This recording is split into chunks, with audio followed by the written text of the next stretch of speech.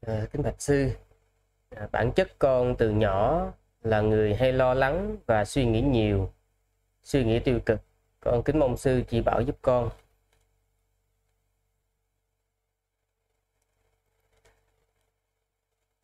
Trong kinh ấy, à, Đức Phật có à, nói như thế này. Cái người mà có những đặc điểm sau đây đó thì họ không việc gì họ phải lo lắng, không việc gì họ phải e sợ và họ luôn có được sự tự tin. Cũng như những cái điều tốt đẹp sẽ đến với họ. Thứ nhất là chúng ta là người bố thí, chúng ta là người rộng rãi, chúng ta thường hay bố thí. Thì khi chúng ta bố thí như vậy đó, nó được nhiều cái quả báu.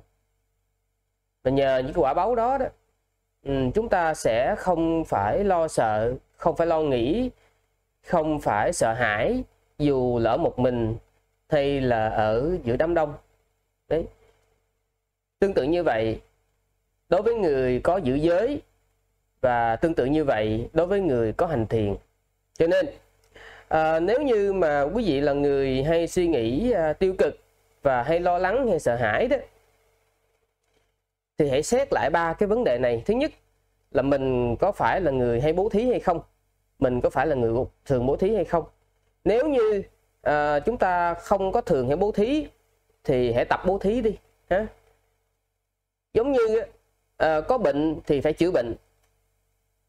Chứ không lý nào có bệnh đến hỏi bác sĩ à, bác sĩ cho toa thuốc rồi mình về mình vứt thuốc qua một bên và mình hết bệnh được đâu. Đúng không? Có bệnh thì phải chữa bệnh thì mới hết bệnh cũng vậy đó. Nếu như mà quý vị nhắm mình á, là chưa phải là người biết bố thí đó thì hãy đi bố thí. Phải bố thí phải thực hành cái việc bố thí.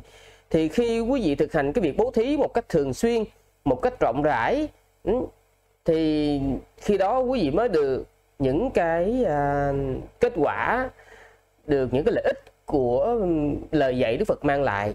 Chứ còn nếu như à, mình nghe thì chỉ nghe cho vui và mình không thực hành thì mèo vẫn hoàng mèo. À, đâu vẫn vào đó thôi. Đó. Ha. Cái thứ hai đó là hãy xét coi mình có giữ giới hay không. Năm giới của người cư sĩ tại gia mình có giữ giới trong sạch hay không? Nếu như không giữ giới trong sạch thì mình phải thường xuyên nhắc nhở bản thân ừ, giữ năm giới được trong sạch.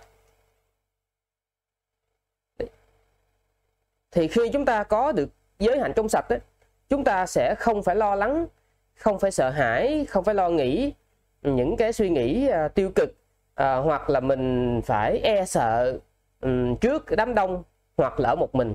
Thứ nhất là mình sẽ không có lỗi với mình. Quý vị thử hỏi thứ nhất là mình sẽ không có lỗi với mình thứ hai là mình không có lỗi với người khác. Thì như vậy đó mình sẽ có được sự tự tin và mình không sợ hãi. Và sẽ lặp lại một lần nữa. Pháp của đức phật là phải thực hành còn nếu như chỉ nói cho vui thì nó giống như là chicken soup tức là canh gà đó. À, nghe thì nó rất là hay nhưng mà không áp dụng thì cũng vậy thôi. Ừ. biết bao nhiêu những cái quyển à,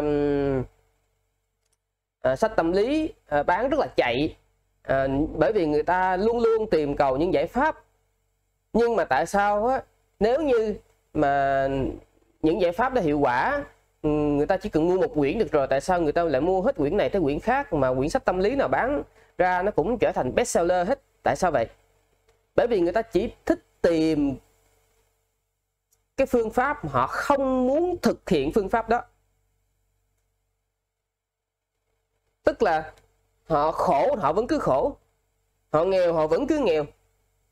100 người đọc 100 người nghe, chưa được một người chịu thực hành thì hỏi làm sao mà họ thoát. Nhưng mà do cái khổ nó thôi thúc họ, thành ra họ vẫn tiếp tục tìm những tác phẩm đó.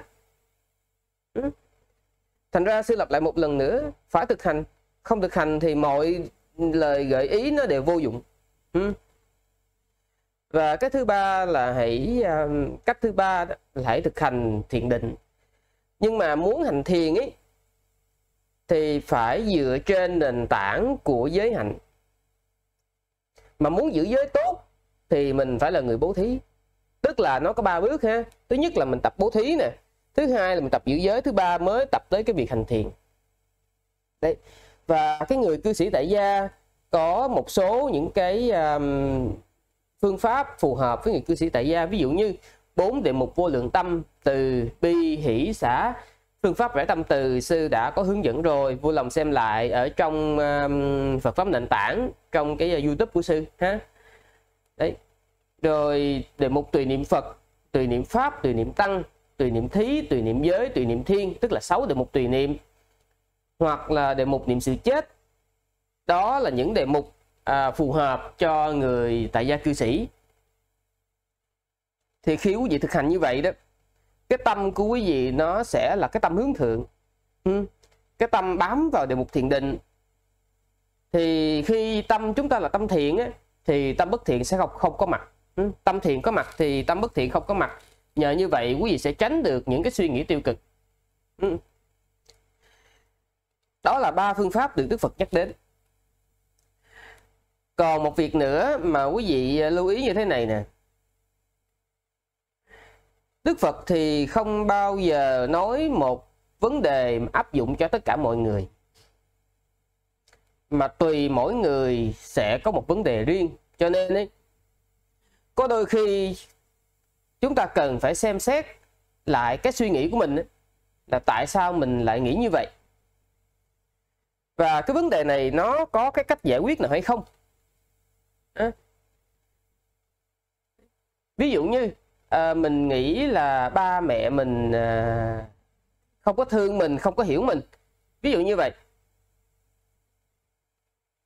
Thì mình phải suy nghĩ là mình đã thương cha mẹ hay chưa?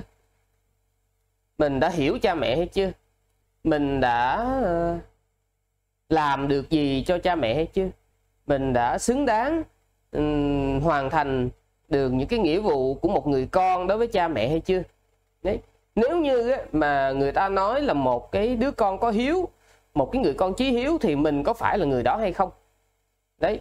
Nếu như uh, trong kinh tạng có nói đến um, những cái đặc điểm của một người con có hiếu đối với cha mẹ thì mình có những cái đặc điểm đó hay không? Thì khi mà tự xét mình trước như vậy đó người ta gọi là tiên trách kỹ hậu trách nhân tức là trước xét mình sau mới nói lỗi người. Thì như vậy à, chúng ta sẽ à, có thể giải quyết được cái vấn đề của mình. Và do cái câu hỏi của quý vị nó rất là chung chung cho nên là sư chỉ có thể trả lời một cách chung chung. Ừ, chào quý vị.